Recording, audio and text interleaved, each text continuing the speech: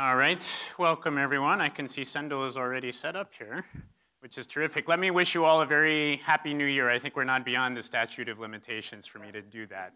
Um, we're delighted to have you with us. My name is Grant Miller. I'm the director of the Center on Global Poverty and Development. Um, it's terrific to have you joining us for the start of our speaker series for this year. Uh, the goal of the series is to foster discussion about both successes and challenges in the field of poverty alleviation and development between distinguished scholars and policymakers and the entire Stanford community. Uh, tonight, we are really delighted to have Sendhil Mullainathan joining us. Uh, is the Robert C. Waggoner Professor of Economics at Harvard University. I'm Sendhil, I'm gonna embarrass you for a very brief period if that's okay. So Sendhil's fields of interest are behavioral economics, poverty, applied econometrics, machine learning.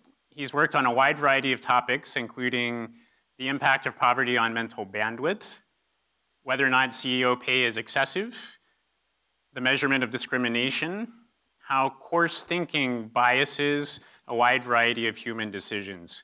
His latest research is on machine learning and data mining techniques to better understand human behavior, which he's talking with us about this evening. He's a prolific writer. Um, he, his most recent book, and I'm not receiving any kickbacks for advertising this, is entitled Scarcity, Why Having Too Little Means So Much, and he's a very regular writer for the New York Times.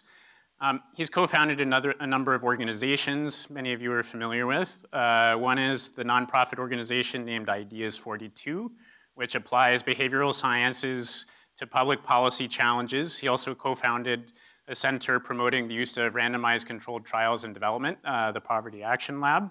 Uh, he serves on the board of the MacArthur Foundation. He's worked in various government roles. He's a member of the American Academy of Arts and Sciences, as well as the National Bureau of Economic Research and BREAD. Uh, he's the recipient of a MacArthur Foundation Genius Award, uh, he's not the only one here with us tonight who was. Uh, he, he, was designated a young global leader by the World Economic Forum. He was labeled a top 100 thinker by a foreign policy magazine, and he was named the, the Smart List 50 People Who Will Change the World by Wired Magazine. Okay, so now to the good stuff. Uh, so his hobbies, which I'm hoping he'll tell us a little bit about, include basketball, board games, Googling, and fixing up classic espresso machines. Um, the first thing he asked me for, he's by the way on his way back home from Sydney right now, was a, was a coffee when he arrived here this evening. Um, he received his BA in computer science, economics, and math, yes, all three from uh, Cornell, and his PhD in economics from Harvard. Um, I'd also like to introduce to you David Lobell, um, who will be moderating our discussion tonight. So David is a professor here at Stanford in the Department of Earth System Science. He's also deputy director of the Center on Food Security and the Environment. He is the William Wrigley Senior Fellow at the Stanford Woods Institute for the Environment. He's a senior fellow at the Freeman Spogli Institute for International Studies, and he's a faculty affiliate of our center here. His own research focuses on agriculture and food security, in particular using remote sensing or high resolution satellite imagery data uh, together with machine learning. He's been recognized with a MacArthur Fellowship, so we do have two geniuses with us, um, and with a Macelwane Medal from the American Geophysical Union. Um, he served as lead author for the food chapter in the recent Intergovernmental Panel on Climate Change Fifth Assessment Report. Um, David is a uh, proud child of Stanford. He received his PhD here at Stanford in geological and environmental sciences, uh, and he received his bachelor's degree in applied math from Brown. So we're delighted to have both Sendhil and David here with us tonight. Sendhil will be speaking with us on how smarter machines can lead to better policy. Thank you.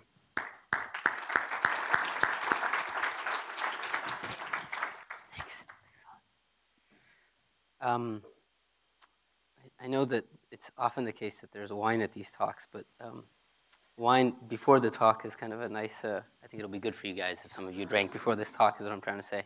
Um, let me just start uh, with uh, a picture. Uh, how many of you can tell me uh, what this is, if you were to describe it? Yeah, a group of young people playing a game of Frisbee. Congratulations, that's an excellent job. Uh, how many of you can describe this? Yeah, person riding a motorcycle on a dirt road. Are all great. Um, that, that's that's going to be my talk. It's going to be picture after picture. it's a very postmodern talk, and then I'll read from the then I'll read from the Great Gatsby for a while. No, um, what I what I what I took this from is a paper about a, I think about a year old now that was a computer vision paper where they trained an algorithm to take images such as this and automatically describe it, and it was a relatively successful exercise. Here's from a description of their chosen some sort of 16 example, uh, 12 examples of how, how well it did. Here are some of the ones on the here that I showed you that they did well on. Here's what I found most impressive is not just how well the algorithm did, but even how its mistakes were not that bad. So for example, here's one that is you know, somewhat related to the image, so it kind of gets it wrong, but it describes it as a skateboarder does a trick on a ramp. So you can even kind of imagine how it got it wrong. It's a bicycle doing a trick on a ramp. Uh, not too bad. Uh, there's somewhere it gets horribly wrong, like this is a yellow school bus parked in a parking lot. Uh, I'm not quite sure what that is. I'm also not quite sure whose car that is. Um, and then this one, it gets very wrong. A refrigerator filled with lots of food and drinks. I also don't know what that is. Why someone is against the letter E is beyond me. Um, but these type of uh, exercises are fascinating to me because they are illustrative of something that is now very familiar to us in, in uh, day-to-day life, which is algorithms being able to do some pretty remarkable things uh, when fed the right data. And so what I wanted to do was, uh, in the last few years, I've just been trying to ask the question, um, I do a lot of work in social policy, how, in what ways can these algorithms uh, be helpful for that activity? So what I'm gonna try and do is digest uh, large parts, a lot of it not my work, but just to ask the question and to present to you where I think some of the really interesting avenues are that people are working on where this uh, can be very uh, helpful and what some future avenues are for development. And the bottom line I think I'm gonna try and convey to you is that we're on the cusp of something I think pretty transformative. And if these algorithms are suitably applied, I think we'll be able to make pretty big progress on, on problems. Um, and I'll try and build that case for you. There's just so many places that are very, very fruitful. To give you a sense of it, I just want to give you a crude schematic of how I think about these uh, algorithms. What they are, I think, is they take a piece of, uh, a, quite a corpus of data, in this case, a bunch of images with descriptions. So you have that skateboarder, you have other images with somebody having described them. These are then fed into, say, take that input. You might have a pretty bad algorithm initially that takes the image and tries to predict, sorry, tries to predict from that image what, the, what is going on. It's like I've never used this before. Um, uh, tries to make a prediction of the description. That prediction then, you check against the truth, you go back to the data, and then you're right or wrong, and then that feeds back to the building of the algorithm. I, I won't go into too much detail on this, but in a nutshell, these algorithms take in data and keep updating the rule they use to predict what the image has a description, whether the input translates to the output. It's a fairly trivial thing if you think about it, but it's shocking that with enough data, we now have updating rules that have gotten us to be able to do a tremendous number of things. So if you kind of think of that as roughly the black box, you know, I think it's not a coincidence that machine learning and big data have arisen together as sort of two big trends or bubbles. So with this schematic, I want to get to what I think are some of the interesting things. And I think that um, the, the first type of thing that I think where these algorithms are proving to be super helpful, and I think David, you one of the world experts on this, I'll talk about this. I think they're going to give us what I think of as digital observatories, ways to see the world uh, that we hadn't seen before. And to do this, I'm going to show you one of my uh, favorite papers. Uh, so this is um, a picture of, of cows. Um, and this is a paper from the Proceedings of the National Academy of Sciences. And I, I would one day like to publish in the Proceedings of the National Academy of Sciences, and I would very much like to publish a paper as interesting as this. So what is this paper about? This paper was people who took Google um, satellite images from Google Earth, I think, and you see there are lots of such pictures of cows and other animals you can find on fields in these Google images. Uh, it's not just your house that's on there. Once you move away from your house, there are other things. I think I saw a study once, that's the first thing people look up on Google Maps. Go, oh, where's my house? And that says something it's in and of itself. They looked at all these images, they found a really strange pattern, which is they just oriented they just asked themselves, which way are the cows facing in these images? And then they graphed that. And kind of, this is cattle, and this is the set of data on which way they're facing. And it turns out, on an average, cows face north, like magnetic north. And if you thought that was interesting, roe deer, look at the roe deer. They're like right on target. I mean, I don't know what these cows are doing, but these roe deers have got their act together. This is a genuine scientific discovery, actually. Now, you may think, oh, I know what's happening. They use the sun. No, it happens in, independent of where you are in terms of latitude. There's no, there's no, it is magnetic north. How are these animals finding magnetic north? Now, this is what the rest of the talk is going to be about. No, no. I, what I'm telling you is imagine what this phenomena really is. People have been around cattle for a long time. And there are some farmers' tales that, oh, cattle's, but it's not like a well known fact amongst farmers. That, and it's because it's this kind of phenomena that from above and with enough data is completely transparent. But yet, when we live it, it may not be immediately transparent to us. That's one thing.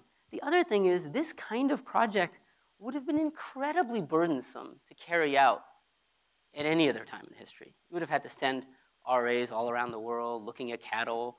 That's like a little more fascinating than what they get to do right now, but still, it would have been expensive. And really, you could never have convinced somebody to pay you to send RAs to look at cattle. And so these two features that we have the ability to see patterns now and the ability to sort of collect a certain kind of data, think is one of the things that's going to be revolutionary in development. Because if you think of development, of all the problems of development that we face that are real pressing problems from nutrition to health, one of the less discussed problems is we actually find it hard to know what's happening. We don't actually, we can't measure that much. And anyone who's worked in development knows this. Surveying is very expensive. There's just a lot of challenges. And so one of the exciting brands of work, remote sensing, I think the literature that comes from earth sciences has been very powerful in that, and it's starting to make its way into economics. Some of the older papers in this that I found most interesting are best illustrated by this picture.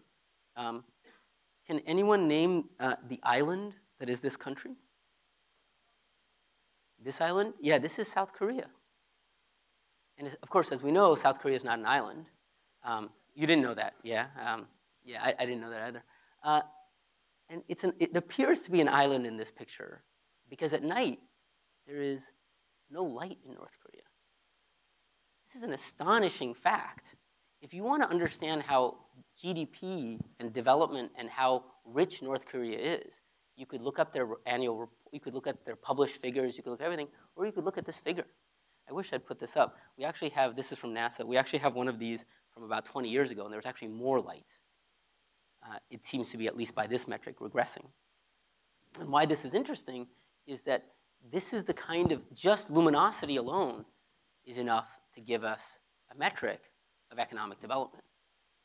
And that's one of the things that if you think about it, we could look at these sort of GDP collection, which is done meticulously and in challenging ways, or we could start taking measures such as this. There's been a lot of work, this is work you guys have done, and there's been a lot of work then that shows, hey, we can then therefore get down to very granular levels of, um, very granular levels. This is from Nigeria, and you guys are down to, I've forgotten how many square kilometers you have. Is it 10 square kilometers you have an estimate? Yeah, down to about 10 square kilometers you can see, you're able to estimate uh, daily, this is from a consumption expenditure, uh, daily per capita expenditures. And that's pretty remarkable, and it's pretty game changing if you think about it, because we're getting these measures at a level of geographic granularity, we're getting these measures at a level of temporal granularity. It's pretty astonishing.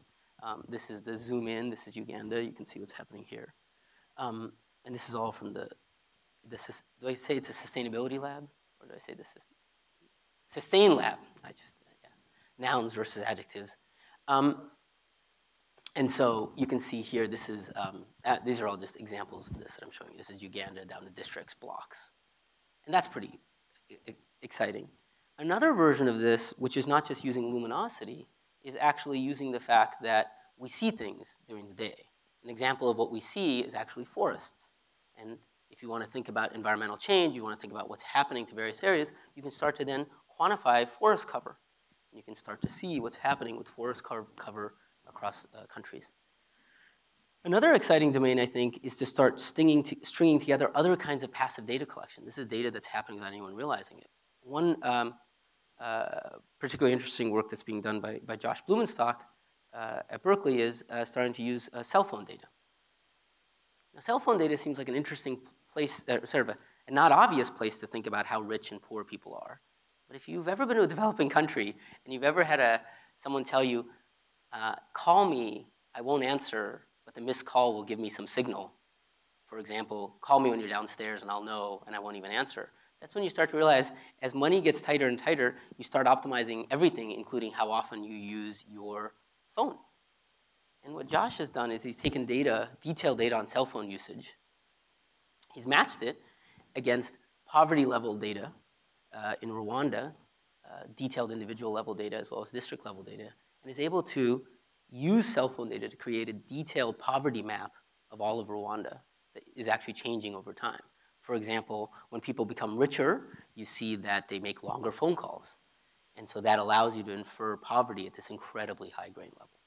Now we've got satellites, we've got cell phone data, and you can start to see that you can start to form an image of what's happening. And this is what I mean by digital observatories. You're able to observe large features of what's going on. Um, one thing that has not made as much progress, but I think we'll start to see much more progress, is the other place where we see uh, observe people is their interactions with the web.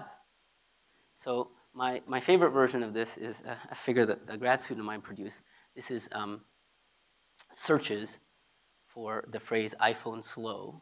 Uh, I think she's been vindicated uh, in the last uh, month or so. And you can see it's actually pretty remarkable. You can just go do this and look at this in Google Trends.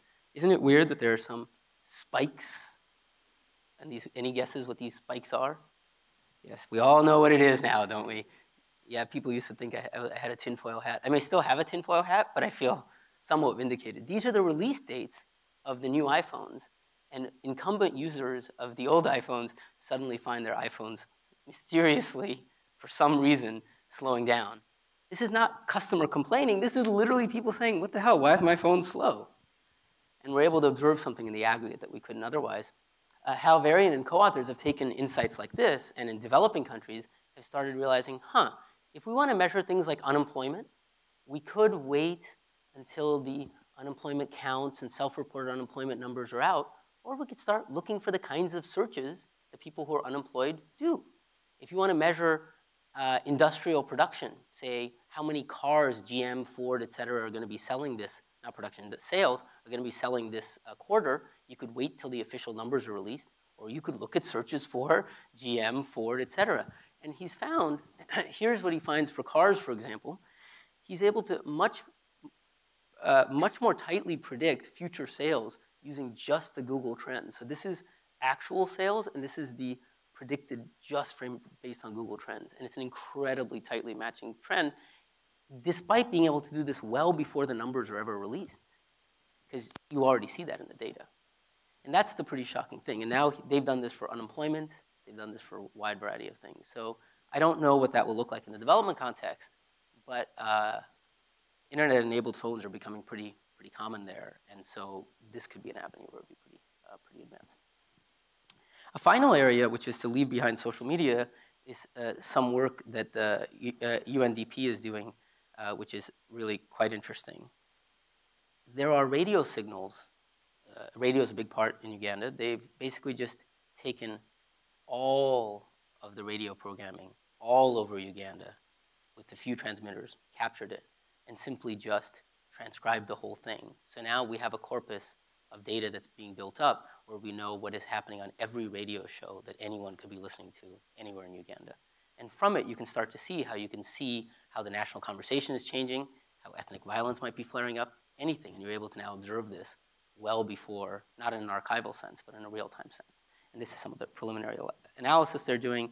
About 7.5 million words are spoken every day, and now they've got all of this. And so you can see their coverage across Uganda is pretty impressive. And so this is more just to give you a sense of how we're able to measure a lot more things from these digital observatories. Let me give you a close on a, what I think of as a very interesting example that shows you how obscure uh, this, this field will get in a way that's good. So one of the things is, if you work in development that you know, is that rain is very, very important. It matters to the lives of every farmer and policymakers. And this is how we know about rain. This is a rain collection station. And so we put these in various places. You know, we have some amount of coverage, and you have to have a certain number. But I think it's fair to say we don't have that many of them, and the coverage in many countries is not that great. Anyone know what this is? It's a cell tower. There's been some recent work which suggests this is also a rainfall measurement device. The reason it's a rainfall measurement device is that these cell phone towers are constantly sending status update pings to each other from tower to tower, just verifying service all the time. You know what happens to those pings when there's water in the air? Yeah, there's a slight degradation. And it turns out just from the ping data, you can infer what rainfall is. Which means we now have, have in most countries, are pretty saturated with these towers, far greater measures of rainfall, more precise measures, potentially, if we could build this out to be able to be done real time, than we ever could have dreamt by putting up these things.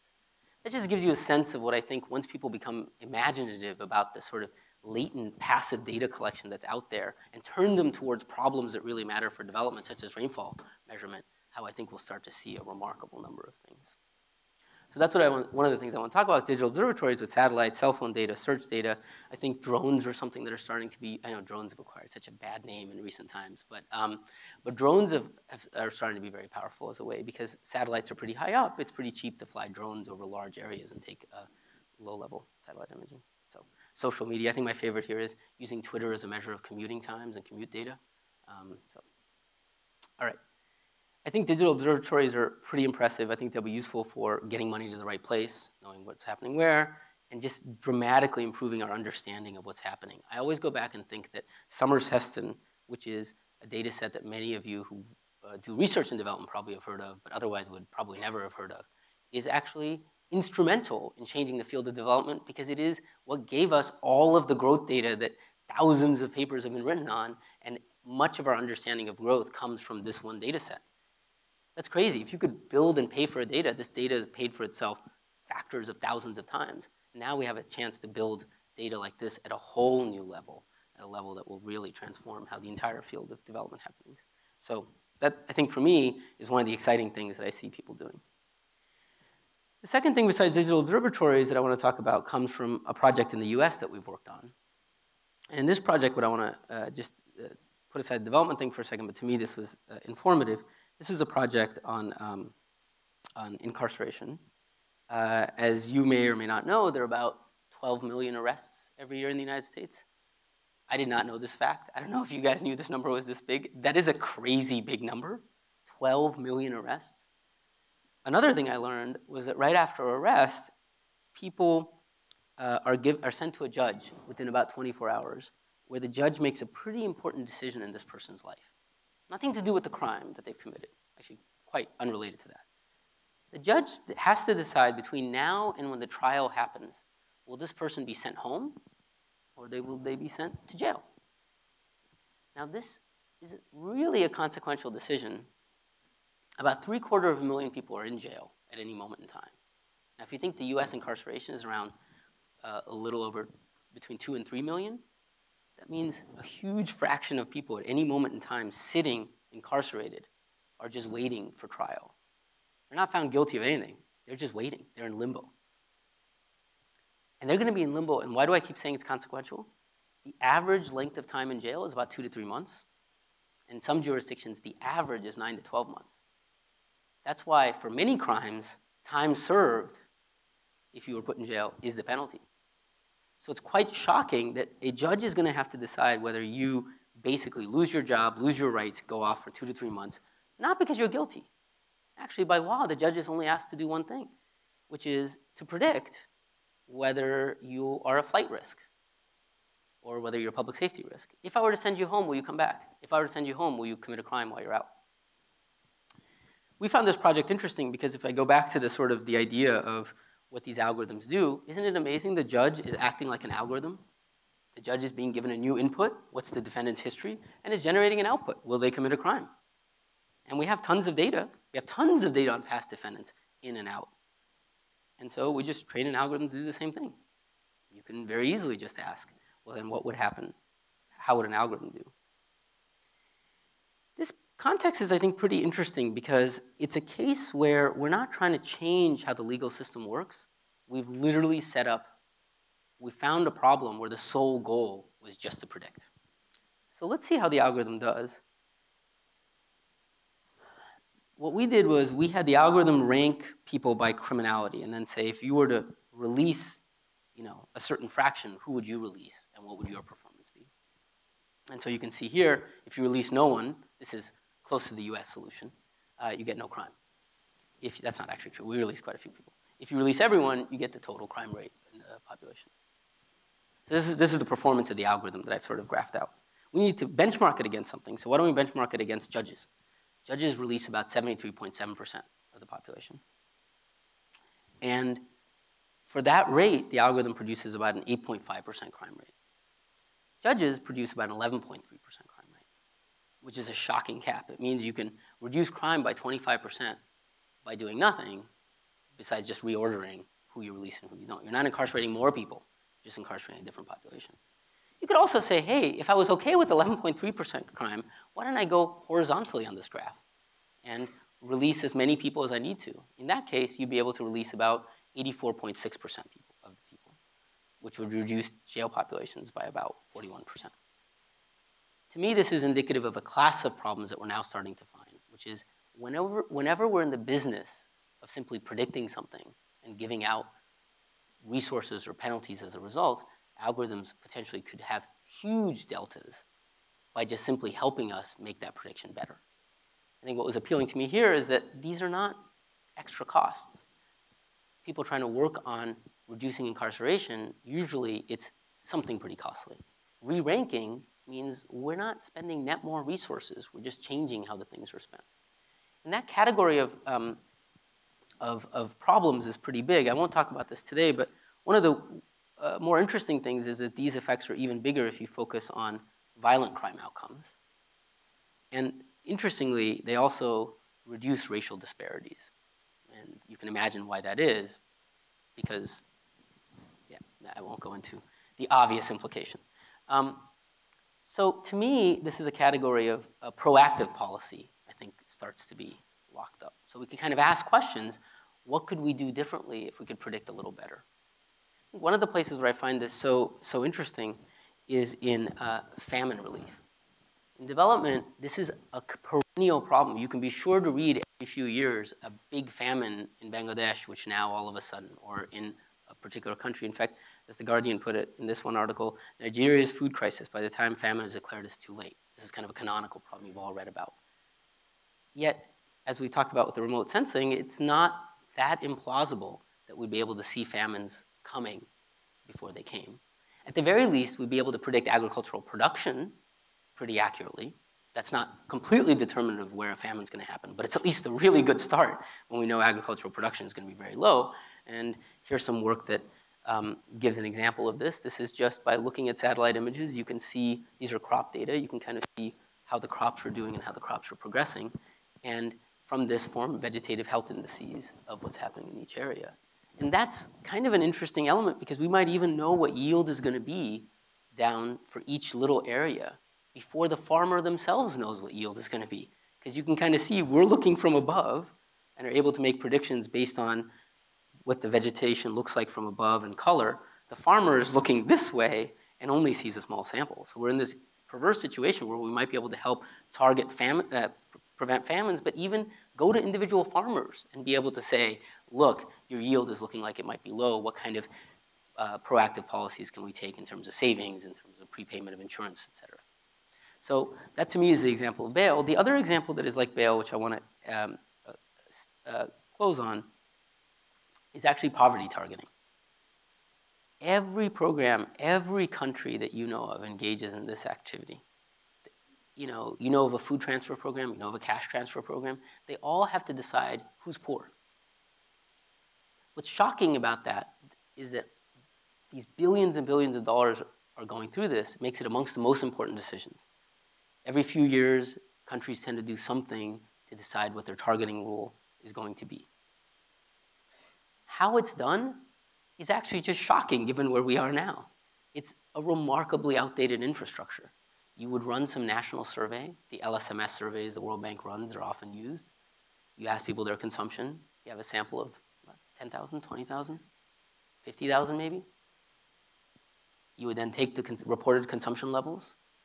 You would then run a regression, have some scorecard. That's it. That's how you decided who is poor and who's not. Imagine how transformative it's going to be, and, and, people are already starting to work on this if you started using things like images of the houses from above, and to the extent how advanced do they look. There's just a ton of data we could bring to this problem, and a ton of machinery we can bring, because this is a pure prediction problem. We are just saying, give me the inputs of everything you know about this person, tell me the output, are they poor or not? There's other complexity, of course, but for the purposes of how these governments are doing it, which is just input to output, that is just a pure prediction problem. And so I think the second element of all of this is what I think of proactive policy. Let me conclude on what I think of as personalized policy. And I think I have like a couple of minutes, so I think I'll be able to finish early. So I think here one of the areas that I think is extremely promising is, um, again, in agriculture. We're very used to sort of, all of you have heard of uh, precision medicine. And so now there's a buzz phrase, precision agriculture, which I think is a great buzz phrase, um, which is think of a poor farmer. One of the most difficult choices they make by far is the choice of what to plant. You make the right planting decision, lots of yield. Wrong planting decision, low yields. What makes that decision so complicated is that it is a precision decision. Yes, there are some things that are right overall, maybe based on season, maybe based on how rainfall is looking for everyone in your village, but by and large, it's very specific to the soil that is in your ground and to the conditions that are there right now. And this is an example where algorithms can be very helpful because they'll be able to transform a huge variety of inputs from soil testing um, to climatic prediction to uh, the, the topology of the area to be able to make a prediction of what yields will look like for a variety of crops. Of course, there's a bunch of delivery about how you get this out there. But this is another place where I think we have a pure prediction problem. Just predict for this crop what we think will happen, and we'll be able to, I think, be quite transformative. A final one is um, some really interesting work that uh, researchers at Yale and other places have done on rural migration. What they did was a very interesting uh, project where they subsidized and they gave people uh, about a $19 transportation subsidy to help people in the lean season migrate to urban areas for work. It's a pretty low level subsidy.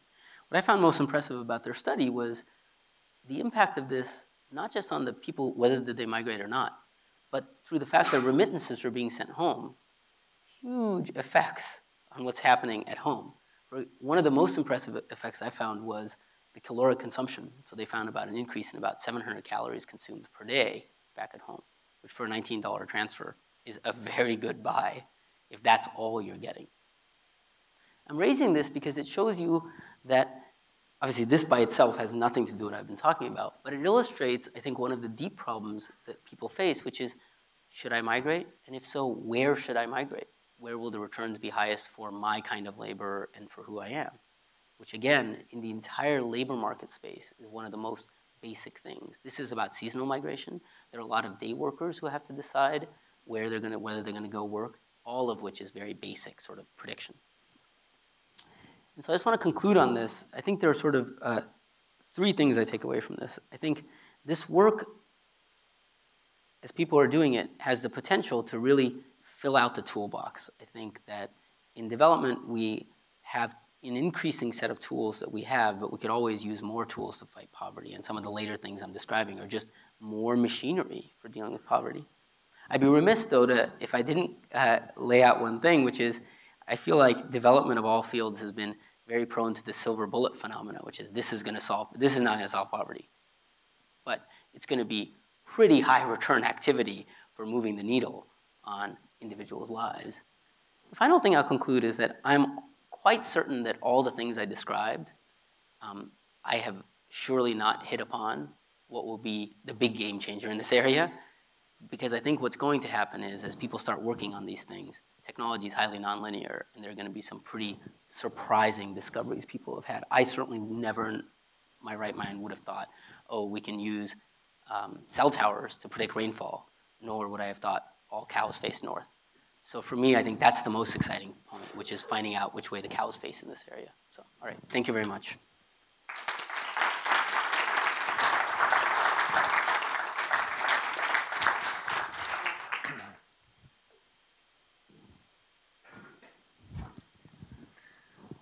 All right. Well, thanks very much, Sendhil. That was a great, um, great presentation, and we're going to have an opportunity now for um, the audience to ask a bunch of questions, and I'll just I'll start us off with a few.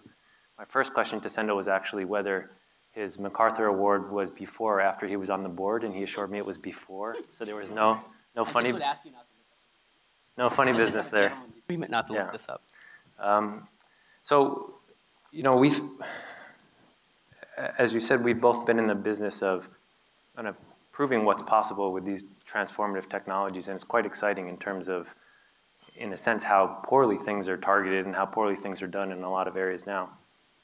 But one of the things that I've, I guess, run into is that people have a, a really strong desire for um, a story and interpretation of why the model is working. And one of the things that machine learning does, I think, is predict really well, but often without the interpretability of some simpler models. And even when you can show somebody that you know the the um, out of sample predictions are better, uh, there is a privilege given to sort of the, the simple story, even if it doesn't have that same um, accuracy. So, and I noticed in the examples you were giving, a lot of them are about sort of the potential of proactive policy. But in your experience, has there been that uptake of that into policy, or has it been stymied by this desire to have, have a good narrative of being able to, to say, this is why we're predicting that this person should be released and this person should be put in jail?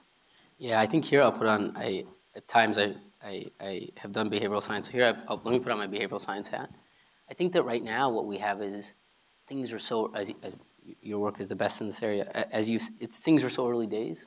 It's not like we're, we're late in the sales cycle where you've tried to sell it to lots of people and have faced lots of resistance.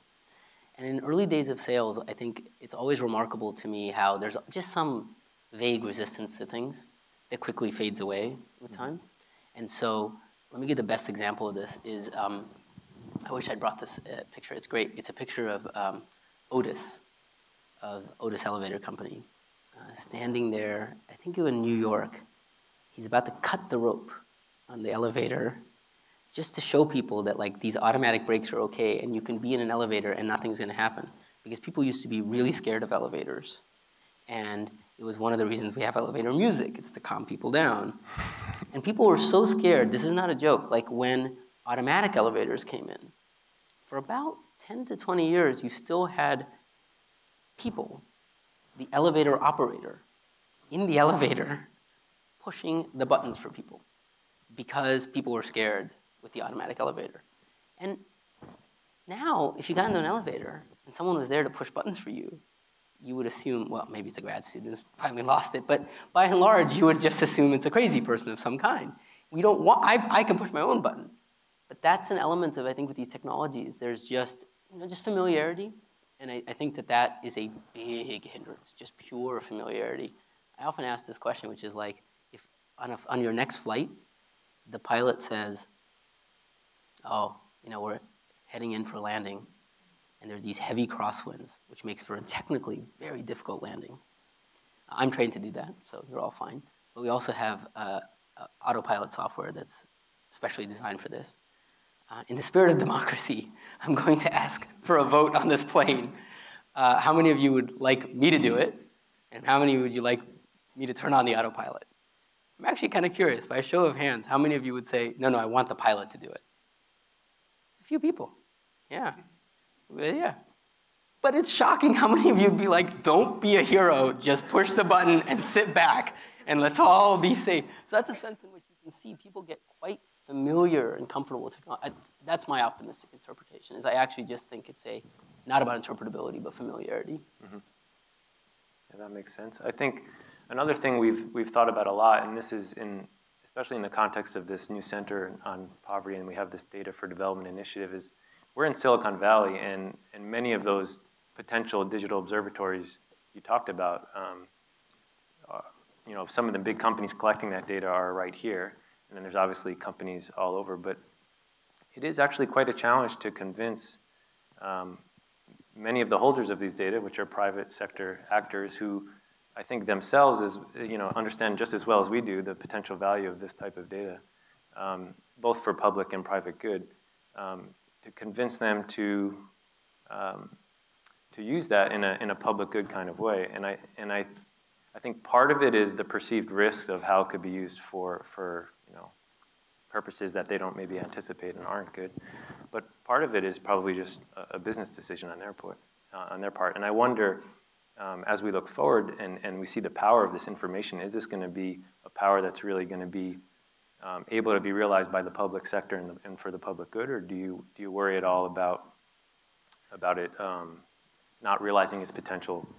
And yeah, what, what, are the arguments we can make to sort of facilitate that? That's a great question. Uh, I mean, the cell phone towers for rainfall prediction, I mean, cell phone companies are often private companies and they own those towers. And why should they give you that ping data? Why should they start storing that data? I mean, it's a, it's a really good question. I, I, this is, maybe I'm just optimistic, but I, I kind of feel like at least if we can show, as you, I'm just repeating what you said, if we can show that there's enormous promise, that it I would have thought some companies would hopefully start to say, oh, this is, we have a CSR division, which gives away some money, but this is a way we can give away some, it's just the ping data.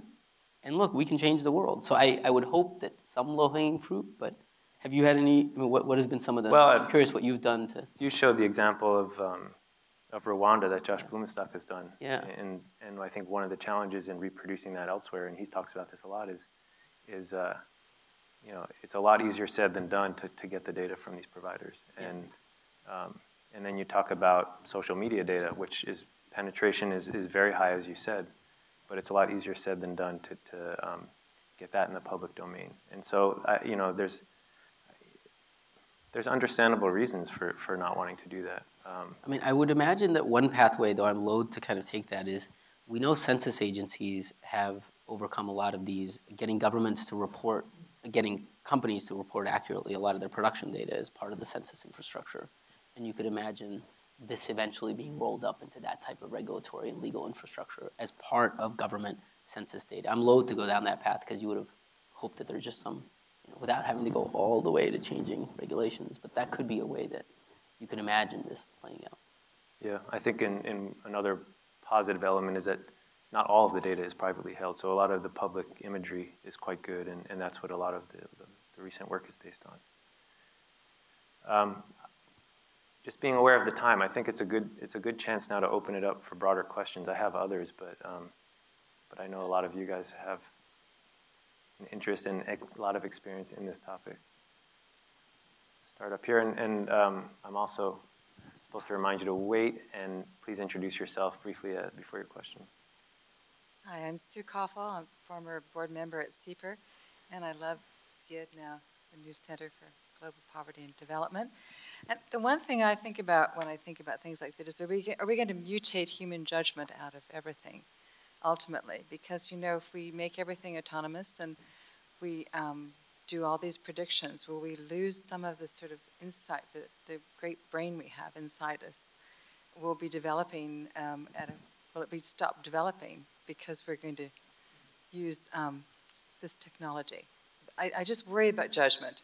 I, I, I, want to drive my car and I want to use my judgment. I want to ride a horse and I want to use my judgment. I don't want to be up there saying, will the horse kick or not or dump me. I want, so what do you think about judgment with regard to this human uh, judgment? I mean, I think that in a lot of these places where it appears there's automation, in some of them I think there's genuine automation, and I really think it's, it's the equivalent of you know, we don't do artisanal accounting anymore. We don't have an accountant be like, no, no, I'm going to add them up by hand. You know, I'm just much better at arithmetic. So some things are of that variety, but I do think there are a lot of these examples that you read about where it's grossly overstated. So and I think there are two reasons it's grossly overstated. Um, one reason it's grossly overstated is, and they both have to do with measurement. Um, one reason it's grossly overstated is algorithms are only as good at, as in predicting whatever the outcome variable exactly that you happen to measure. So you might read about papers saying, oh, algorithms are better at deciding who's going to be a good employee. Oh, that's funny. I didn't know we had a variable we measured called good employee. Oh, no, no, we've got, you know, uh, performance. Oh, I see, that's interesting. So you really think that employee who gets really high performance ratings is the only thing you care about? No, of course not. So then already you're telling me that huge amounts of judgment have to creep in because the variable that the algorithm is predicting is only one of the many variables that come into a decision whether to promote or hire or promote. And that's a big wedge. If you often look at these things, the way they're described, they're described semantically, good employee, but then you have to sort of scratch the surface and say, but what is actually being predicted? And if I were in the business of promotion, that would only be a tiny fraction of it. I think the biggest example of that in our work is the bail example I gave is about pre-incarceration. So that is pre-trial. So there, the only thing we predict is will you commit a crime or will you flee? And it turns out those are the only things you should care about for pre-trial by law. Roll it forward and think about the sentencing decision or think about the parole release decision. Yeah, a parole committee cares about recidivism, but they care about a lot more. So simply having a recidivism predictor doesn't automate judgment. In other words, I think these algorithms are excellent at quantifying parts of the inputs, but most of our judgments are actually pretty complex. And I just do not think that's going away anytime soon. Though you may not want to drive your car after a little bit, but that's a separate issue, I think. But will she be allowed to drive her car? Will she be allowed?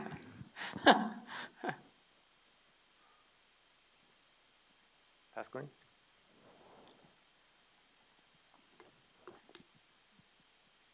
A related question, I guess, is um, if there's a massive amount of things that we can look at, we still have to choose which one to look at. So I'm not right now dying to know why cows face north. Uh, maybe I should. I don't know. Biologists have been asking. How do they know what's north? No, no, but but uh, but, but I'm joking. I'm really. I'm, I'm not joking. I'm actually quite curious. But it's uh, we, we, you know many many many patterns may be not relevant uh, as much for important issues. So how do you? One question is in a world of big data and, and, and smart machines, how do we make sure that we don't get lost um, identifying patterns that maybe are not first order? No, I, mean, I think that's what these data sets do is they give us a ton of data, and which I think raises the premium for figuring out what question you're going to ask. What variables are you going to predict? Because these aren't, these algorithms, I don't know if you know of any such good examples, but I've not really found many good examples where you turn the algorithm loose on a data set and it finds interesting things. Because it has no idea what interesting is. Interesting is in your head, not a, it's not even a definable thing. So most of these techniques uh, work well when you say try to predict this, but when you're trying to struct, and I do think that it's going to raise the premium because now there's so much you could look at. And we saw this a little bit when you first saw surveys like the General Social Survey come out. I don't know if you guys know this. These are surveys where they ask hundreds of questions, like on everything you can, every opinion thing you can imagine. It was this flurry of kind of like, gee, we can look at everything. What do we look at now? And you know that looks small relative to what we have now, but you know in the opinion world it was pretty big, and it did make things harder at some level because you had to choose more wisely. So I think you're, I think you're quite right. I think an, an aspect of that, though, is you do have to sort of specify the, the things you're trying to predict, but recognizing that a lot of the things we're used to measuring are, are probably historical, sort of the result of historically what we could measure. So we measure poverty by how much did you spend in the last month because we can ask people how much did you spend in the last month. Maybe a more relevant measure in terms of whether somebody's poor is whether they can turn on a light switch or whether they have you know, enough food or area to grow food or things like that. And so it is, um, it is the case that you want to specify, I think, but you probably want to think much more creatively. And some things that might be much easier to measure now um, weren't even in the, in the conversation a decade or two ago. That's a great example. I mean, one of the things I would find interesting is we can't really see, there isn't as much tweeting, but I think in, the, in areas where there is a lot of tweeting, we have had people to the point that you're describing, look at the natural language data that's being produced and start asking questions like what is on the minds of low-income individuals who are, and so that's a place where it's a little closer to that, and then instead of flipping the thing and saying, let me not go in with the prejudgment of what I'm looking for, let me measure, let me not measure sentiment of each tweet, let me actually ask the content of what is being tweeted about. Might I learn something interesting about that? So I think totally, yeah. totally agree. have one in the corner back there. Hi, thank you very much for your talk. Um, Susan Young, I do some work on development and natural resources, um, kind of conservation. Um, I had two quick things. One I hadn't even thought of until I heard some women talking about language. For a writer, I found it interesting that your title had no punctuation. and I've been sitting here thinking, what does that mean about what you think about your topic? Um, that you didn't put a comma, you didn't put a question mark, you didn't put a period. Anyway, that's a little frivolous, but I am thinking about it. Um, the broader question was I've been reading Kate Raworth's book, um, Donut Economics. I don't know if you've heard about it. Um, it's very interesting. It talks about living in a safe space. So instead of linear models on uh, micro and macroeconomics, it moves to systems work. And it talks about how do we live safely within natural resources and also within social programs so that everybody kind of lives in the donut. Nobody falls in the hole and we don't explode out um, because we've used up natural resources. If you haven't heard of her, then it's not a relevant question, but it's intriguing because she's bringing systems work and the ways you think about in systems to what used to be linear Hmm. in economic work. So I, I just Is didn't know if you donut had any economics? observations. It's donut economics, is that right? Donut economics, yeah. Yeah, I haven't. Do you know this? No. No, no punctuation in that title either? donut, comma, economics. Yeah, no, I'm sorry, I don't know about it. I mean, there is a, a branch of other work that I know a little bit about that tries to bring systems, but not in the way I think you're describing, sort of dynamic systems and interacting agents into the into economics, like at the Santa Fe Institute. But that, but I don't. I'm sorry, I don't know about that. So um, we're almost out of time, but I have, as I said, some more questions, and I guess um, maybe maybe this is another um, sort of negative type of outlook, or, or just asking you to think negatively, is because I think the positives are are quite clear in, in terms of the the tremendous power of this, the um, you know all, the good that could be done with the the billions of dollars that are not being spent well now that could be spent well, or all the policies that are not being targeted well that could be um, done well.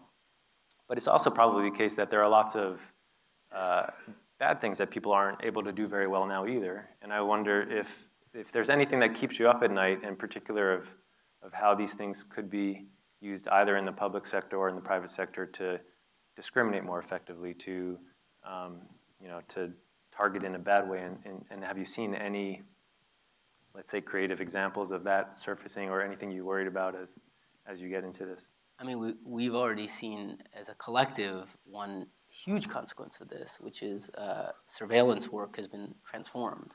And I think sort of our ability, if you, I mean, here's some nightmare scenarios that are already, that aren't even so nightmarish. You couldn't really do um, metadata on cell phones and start to really track all this without this type of work. You couldn't say, like, it's great when you see it uh, on a police show, but oh, here's the criminal. Let's look at CCTV footage and see if they've been spotted anywhere. That's a lot of visual processing of a lot of CCTV cameras. But that's also pretty frightening. I mean, very frightening if you think about it. So, in some sense, I think by governments, this does raise the capacity of governments to do quite a bit, and that's good and very bad. And so, yeah, I think that's a big issue. And firms, obviously, there's some elements of, of this that goes on where I think we've started to see some you know, classic example is in financial services.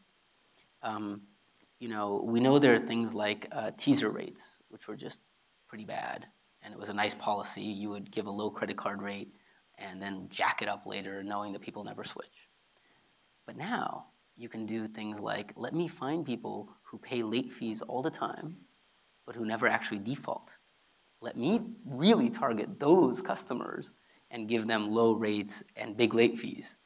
That's very profitable. It's a great strategy. And you know, that, by the way, that's how the suit paid for itself. But um, it's, it's much it's a much better suit than it looks.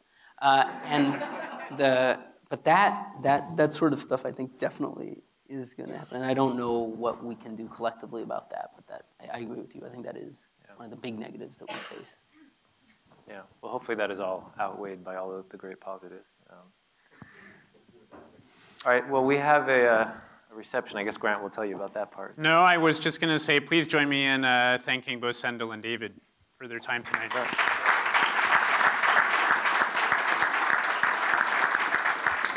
So uh, before I let you go, I will just tell you, I hope you'll join us on February 15th. We'll be back with Sam Kortum, who'll be speaking on gains from trade and inequality. Um, there's no punctuation in that title. Uh, if you want to know what he has in mind, you'll have to join us, so I hope you will. Thank you again. Thank you to Sendhil and David again.